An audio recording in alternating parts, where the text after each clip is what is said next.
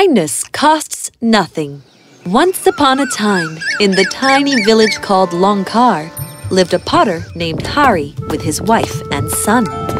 He was an honest and righteous man who loved making beautiful and elegant pots. His workshop was filled with pots and vases of different colors, shapes, and sizes. And people from the village loved to visit his workshop to look at all the beautiful pots.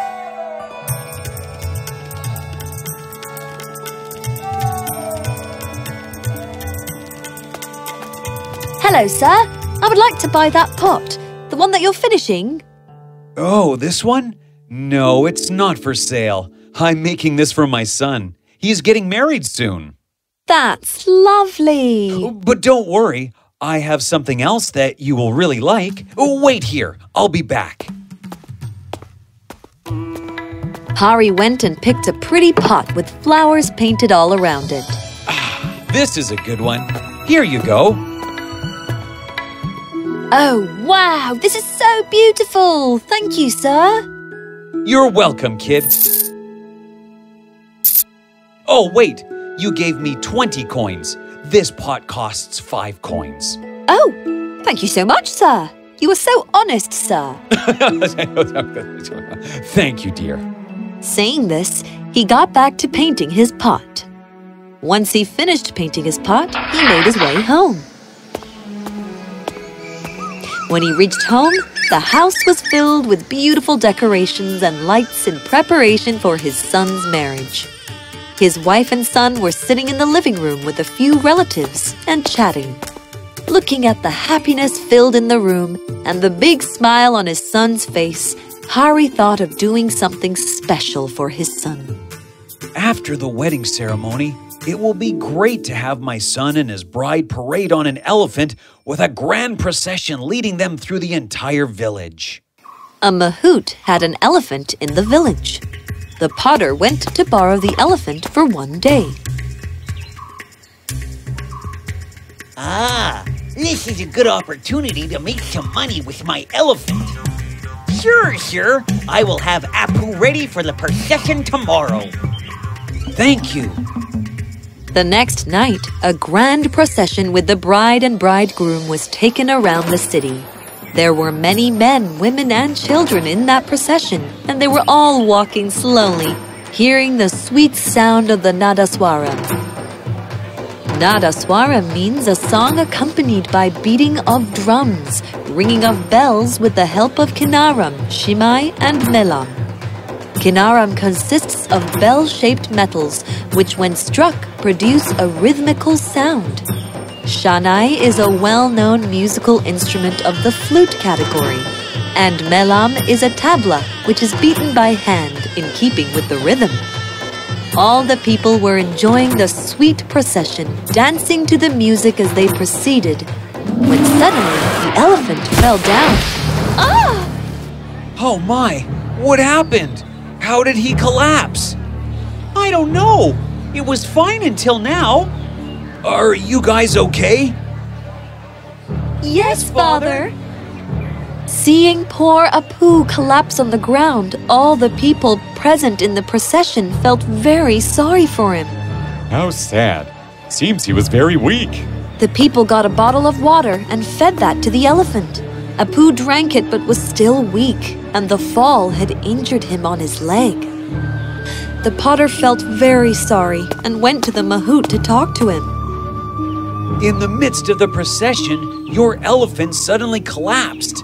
I am very sorry. The fall had injured him on the leg. Apu is my friend. How could you injure him like that?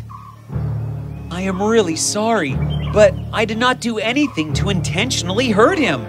I would never do anything to hurt any living being. It is wrong. I am going to take this up with the judge tomorrow. He will make sure you give me a good compensation for hurting my friend. The mahout left and went to get Apu some help. He took him to the vet who declared that injured his leg and gave him some bandages. Oh, my sweet Apu, I am so sorry that you have gotten hurt. I am going to make sure that the potter pays for this. Saying this, the next day he went to the court and lodged a complaint against the potter. Tell us, what happened last night and how did his elephant collapse? Your Honor, his elephant, Apu, which I borrowed from him, collapsed suddenly on the way while the bride and bridegroom were going around the village. I did not cause any harm to the elephant intentionally, and I have apologized to the Mahout as well. He has hurt my dear Apu. An apology is not enough. I demand a compensation for this. A compensation? Let me tell you this, sir. Injury of a living being cannot be compensated for. Animals are not a thing that you use to make money. They are living beings that shouldn't be used as a means of entertainment and money. That is absolute cruelty. If you are so worried about your elephant, then you would have taken good care of him. The elephant's injury happened when it fell, and that was because it was weak. Yes, Your Honor, I know that. I should take good care of him. Tell me, why didn't you take care of Apu and his health? The thing is, Apu has been a part of my family since he was a little calf. We are very close. Over the past few years, I have not been able to do well in my business. Because of that, I have not been able to feed my family enough, including my Apu. I'm so sorry to hear that. I see.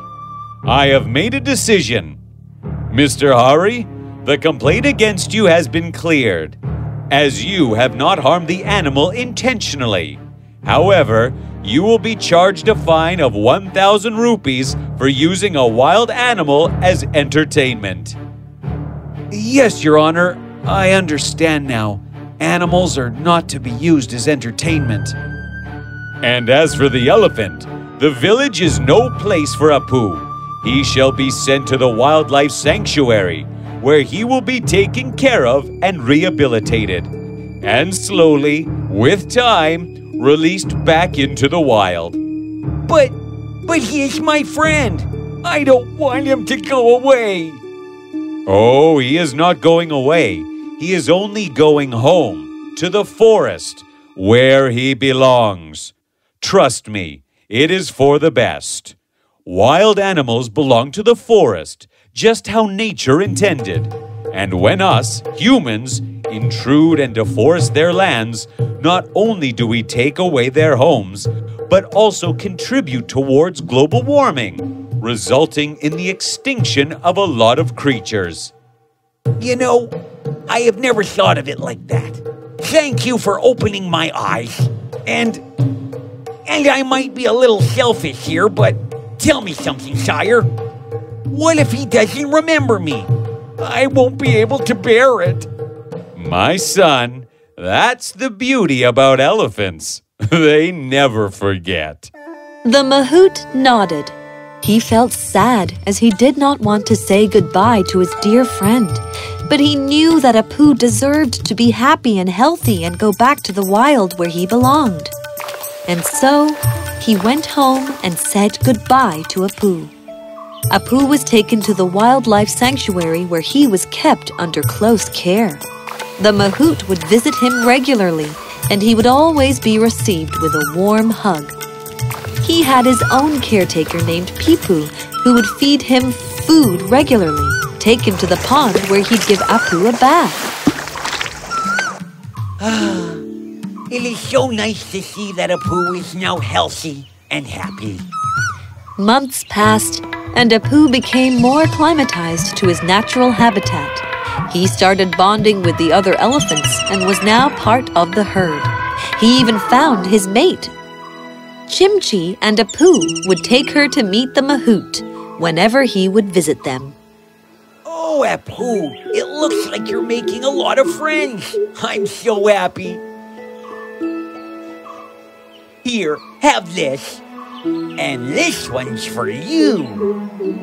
And so, Apu lived happily in the wild with all his friends and newfound family of elephants, walking around and eating and doing everything that a wild elephant would.